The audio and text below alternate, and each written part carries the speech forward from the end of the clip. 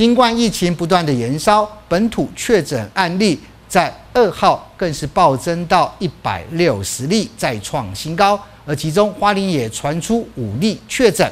二号一早，花莲市清洁队也派员到确诊者的足迹处进行了消毒的作业。而市长魏家贤也特别为了清洁队员的辛劳，也提醒花莲的各行各业务必要提高防疫的规格。新冠疫情不断延烧，本土确诊案例在今天更是暴增到一百六十例，再创新高。而其中花莲也传出五例确诊。二号一早八点左右，花莲市清洁队已经分别在美仑地区、花莲市区及后站一带执行清消工作。而市长魏家贤也特别前往中山路与中华路口关切执行状况，除了慰劳队员的辛劳，也提醒队员要做好防护工作。那我们希望哈，所有的民众还是要提高自身防疫的一个规格，那预防性的来做相关的防疫工作。